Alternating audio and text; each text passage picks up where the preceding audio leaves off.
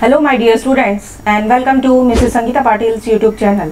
Today we will study about past perfect tense. Past perfect tense एक ऐसा tense होता है जिसमें हम ऐसे कार्यों के बारे में बात करते हैं जो भूतकाल में पूर्ण हो चुके होते हैं तो let's see the identity of this tense अब चूँकि ये कार्य भूतकाल में पूर्ण हो चुके होते हैं, इसलिए इनमें इस तरीके के शब्द हमें देखने के लिए मिलेंगे चुका था, चुकी थी, चुके थे या कई बार ऐसे साउंड भी मिलते हैं, जैसे आ था ई थी ए थे फॉर एग्ज़ाम्पल चपरासी घंटी बजा चुका था the peon had rung the bell इसमें चुका था, आया है। टीना एक आम नहीं खा चुकी थी, Tina had not eaten a mango ये एक नेगेटिव सेंटेंस क्या लड़के विद्यालय जा चुके थे? Had the boys gone to school ये एक इंट्रोगेटिव सेंटेंस है। इस तरीके से इनमें चुका था, चुकी थी, चुके थे। ये सब शब्द हमें देखने के लिए मिलेंगे। तो इन शब्दों से हम पहचान सकते हैं कि ये पास्ट परफेक्ट टेंस के एग्ज़ाम्पल है। Now what is the use of this tense to express an action completed before a certain moment in the past तो भूतकाल के किसी क्षण में पूर्ण हुआ अगर कोई कार्य है तो उस कार्य को बताने के लिए हम पास्ट परफेक्ट टेंस का यूज़ करते हैं। For example at 5 P M in the evening all the office had closed तो शाम के पाँच बजे सभी ऑफ़िस बंद हो चुके थे। तो ये काम पूर्ण हो चुका है और ये भूतकाल में हुआ है। तो इसे बताने के लिए हम पास परफेक्ट टेंस का यूज़ करें। टाइप्स ऑफ़ सेंटेंसेस इस टेंस को हम चार टाइप के सेंटेंसेस में देखेंगे, जिसमें पहला है अफर्मेटिव सेंटेंस या सकारात्मक वाक्य। ऐसे सेंटेंस में नॉट प्रेजेंट नहीं रहता है। Now let's see the structure subject plus had plus V three plus object तो सब्जेक्ट और ऑब्जेक्ट ये तो किसी भी सेंटेंस में रहता ही है। इस टेंस की पहचान है कि इसमें हेड लगा रहेगा और वर्ब का थर्ड फॉर्म इसमें यूज़ होता है। Now, let's see some examples. We had helped the poor. हम गरीबों की मदद कर चुके थे। यहाँ पे हैड लगेगा और वर्ब का थर्ड फॉर्म हो जाएगा help Rakesh had gone to school Rakesh school जा चुका था। इसमें चुका था, आया हुआ है और जब हम इसे पास परफेक्ट ट्रांसलेट करेंगे तो यहाँ पर आएगा हैड प्लस वी थ्री हो जाएगा इसका gone David had given a book to me David मुझे एक पुस्तक दे चुका था। तो यहाँ पर हैड प्लस गिव का वी थ्री हो जाएगा given Radha had eaten a mango Radha एक आम खा चुकी थी.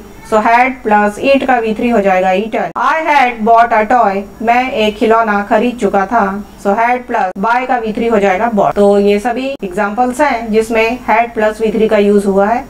तो इस तरीके से कोई भी सेंटेंस अगर दिया है तो हम उसे बहुत आसानी से पास्ट परफेक्ट टेंस में चेंज कर। Now second type is negative sentence या नकारात्मक वाक्य। इसमें नॉट प्रेजेंट रहता है। स्ट्रक्चर सब्जेक्ट और ऑब्जेक्ट तो इसमें रहेगा ही हेड भी इसमें रहेगा ही वर्ब का थर्ड फॉर्म भी रहेगा ही और ये नेगेटिव सेंटेंस है, इसलिए इसमें अलग से जो वर्ड लगेगा वो है not so had plus not plus V now let's see some example we had not help the poor हम गरीबों की मदद नहीं कर चुके थे। तो सेम सेंटेंस में नेगेटिव अगर बनाना है तो ये ऑक्सिलरी वर्ब जो हैड है, इसके बाद यहाँ पर लगा देंगे नॉट तो सेंटेंस हमारा नेगेटिव में चेंज हो जाएगा। Rakesh had not gone to school Rakesh school नहीं जा चुका था।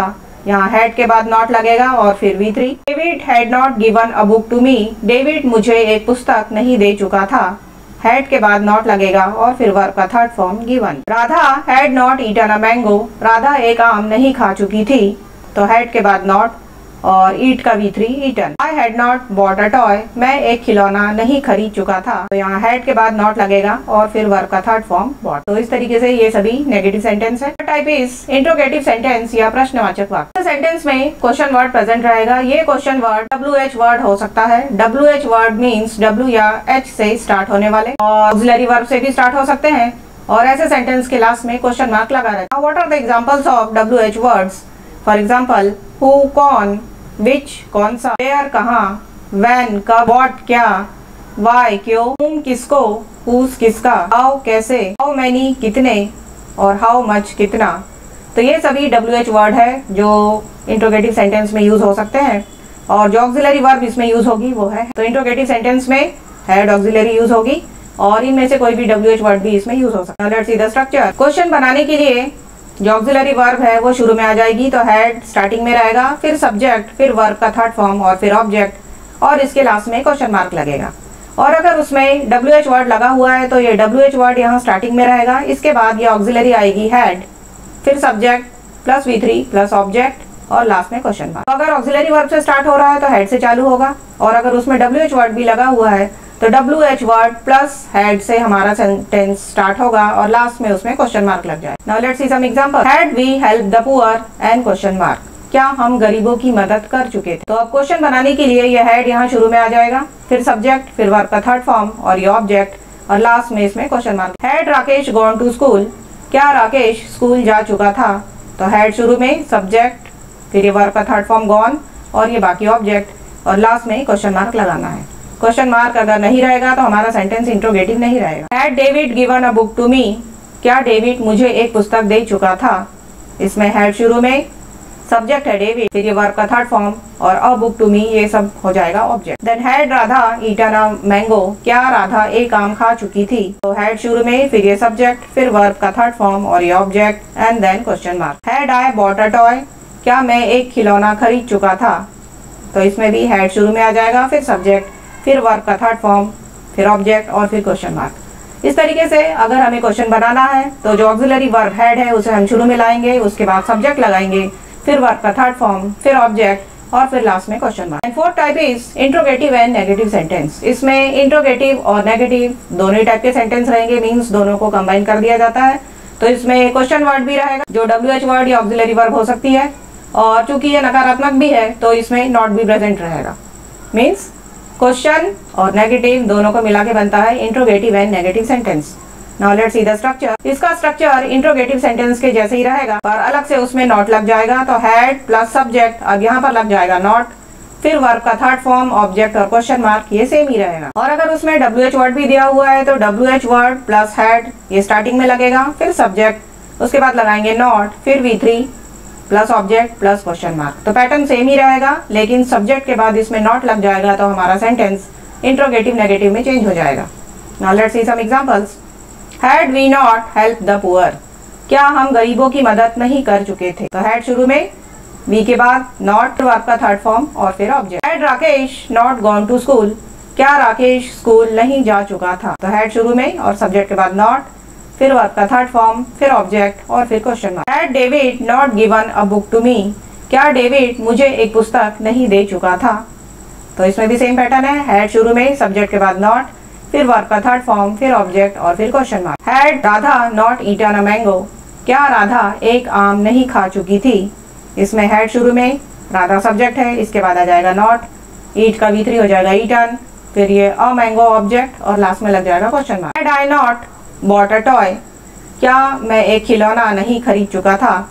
तो ये हैड ऑक्सिलरी शुरू में आएगी। बाद सब्जेक्ट फिर नॉट फिर बाय का हो जाएगा बॉट थर्ड फॉर्म और टॉय ऑब्जेक्ट और फिर क्वेश्चन मार्क तो ये इंट्रोगेटिव सेंटेंस में अगर नॉट लगा हुआ रहता है तो इसे इंट्रोगेटिव नेगेटिव सेंटेंस कहा now let's see the summary of this affirmative sentence अगर दिया है तो Mukesh had purchased a car Mukesh एक कार खरीद चुका था। तो इसमें हैड प्लस वी थ्री आएगा।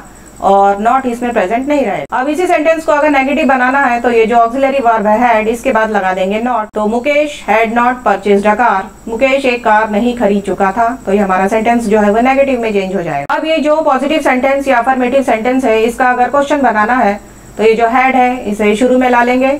तो हैड मुकेश, और बाकी एज इट इज़ रहेगा परचेज अ कार और इसके लास्ट में क्वेश्चन मार्क लगाएँगे।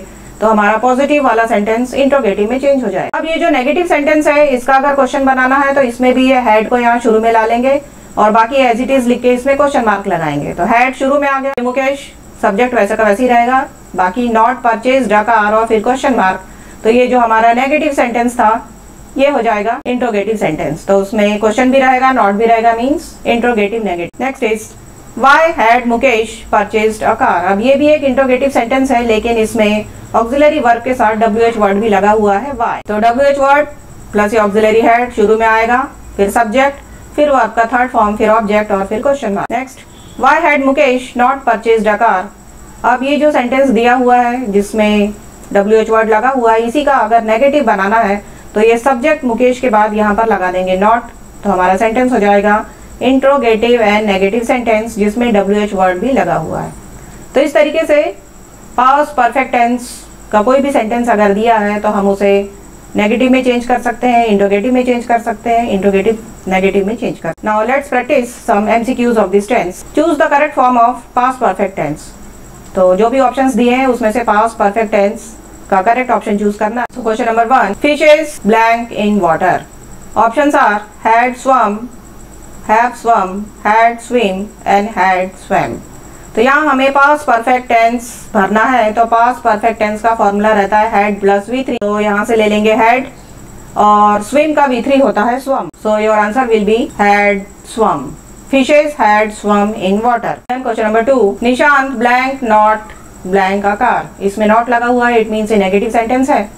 तो हेड लेंगे प्लस वर्ब का थर्ड फॉर्म लेंगे। तो हेड तो इसमें आएगा ही। और ड्राइव ड्रोवर ड्रिवन में से थर्ड फॉर्म होता है driven your answer will be Nishant had not driven a then question number third blank I not blank my hand इसमें नॉट भी लगा हुआ है और क्वेश्चन मार्क भी लगा है। इट मीन ये इंट्रोगेटिव नेगेटिव सेंटेंस है। तो स्टार्टिंग में आ जाएगा हेड और फिर वर्ब का थर्ड फॉर्म लेंगे तो वो हो जाएगा had and washed so had I not washed my hand then question number four blank my brother not blank in the garden question mark लगा हुआ है इट मीन इंट्रोगेटिव सेंटेंस है तो ऑक्सिलरी वर्ब स्टार्टिंग में आएगी, और वो है हैड उसके बाद वर्ब का थर्ड फॉर्म लेंगे तो डिग डग डग थर्ड फॉर्म होती है dug so had and dug so had my brother not dug in the garden question number five it had blank yesterday अब यहाँ पे ऑप्शंस दिए हैं rain rains raining and rain अब हमें पास्ट परफेक्ट भरना है तो हैड प्लस वी थ्री भरेंगे. तो रेन का थर्ड फॉर्म होता है रेन तो your answer will be rain It had rained yesterday. Then question number six. I blank to church yesterday. अभी में not लगा हुआ है. It means a negative sentence है. तो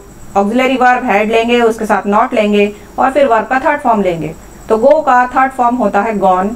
So your answer will be had not gone. I had not gone to church yesterday. Then question number seven. Blank the teacher, blank you. Question mark इसमें लगा हुआ है it mean interrogative sentence है तो auxiliary verb इसमें starting में लेंगे। पास perfect के लिए जो ऑक्सिलरी आएगी वो है हैड और फिर वर्ब का थर्ड फॉर्म लेंगे तो वो हो जाएगा punished had and punished so had the teacher punished you question number eight my parents had not blank to Bombay option are going gone go and goes अब had not इसमें लगा हुआ है तो हम वर्ब का थर्ड फॉर्म ही लेंगे। तो थर्ड फॉर्म होता है गॉन तो my parents had not gone to Bombay question number nine my friends blank का option are had flown, had flew, had flying and had fly. Past perfect भरना है तो auxiliary लेंगे had और उसके साथ उसका थर्ड फॉर्म लेंगे तो your answer will be had and flown. So my friends had flown kites. Then question number 10. I blank an aeroplane yesterday. अब auxiliary इसमें लेंगे had और उसके साथ third form. See, saw और seen में से third form होता है see. So your answer will be had and seen. So I had seen an aeroplane yesterday. So I am sure that you have understood this tense and all these MCQs very well and now you can easily frame sentences of your own by using this tense. My dear students, now we will meet in the next video with a new type of tense. Till then you practice all my videos of tense so that you can become fluent in English. Thank you and keep watching and supporting my channel.